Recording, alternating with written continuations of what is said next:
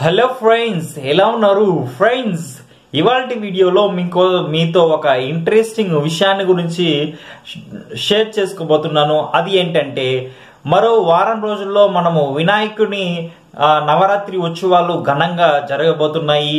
మన భారతదేశం మొత్తం కూడా వివిధ రాష్ట్రాల్లోనూ మరియు ప్రాంతాల్లోనూ ఈ యొక్క వినాయకుడి ఉత్సవాలు ఘనంగా నిర్వహించబోతున్నారు. అయితే ఈ వినాయకుని నవరాత్రి ఉత్సవాల్లో ఉపయోగించే వినాయకుని యొక్క ప్రతిమలు వివిధ రకాలైన కెమికల్స్ ఉపయోగించిన రంగుల్ని ఉపయోగించడం వల్ల పర్యావరణానికి ఆటంకం కలిగిస్తుందని ఈ రంగుల్ని ఉపయోగించకూడదని పర్యావరణ శాఖ తెలియచేస్తుంది. అయితే ఎంతవరకు మనం గణేశుని విగ్రహాలు ఆ రంగులు లేని విగ్రహాలని ఉపయోగిస్తున్నామో మనమే ఒకసారి ఆలోచించుకోవాలి.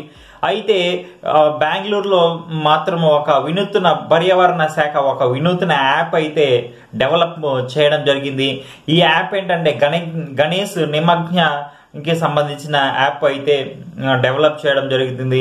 ఈ యాప్ వల్ల ఉపయోగం ఏంటంటే మనము ఈ ప్రతి ఇంట్లో ఉపయోగించే గణేశుని యొక్క ప్రతిమను నిమగ్నం చేయడానికి మొబైల్ ట్యాంకర్ని అయితే పంపించడం జరుగుతుంది. మనము ఈ ట్యాంకర్ ఎక్కడ వస్తుంది ఏ ఏరియాకు ఏ ఏ ఏ ట్యాంకర్ వస్తుందనే విషయాన్ని మనము ఈ యాప్ ద్వారా మనము తెలుసుకోవచ్చును.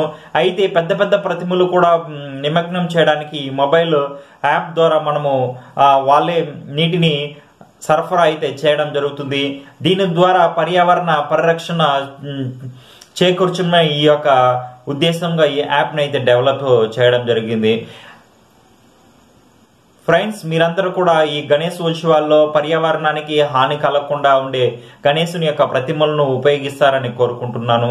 ఫ్రెండ్స్ ఈ వీడియో అంతే ఫ్రెండ్స్ నా ఛానల్ని మీరు ఇంకా కనుక సబ్స్క్రైబ్ చేయకపోతే సబ్స్క్రైబ్ చేసుకోండి. పక్కనే ఉన్న బెల్ సింబల్ని ట్యాప్ చేయడం మాత్రం మర్చిపోకండి. Thank you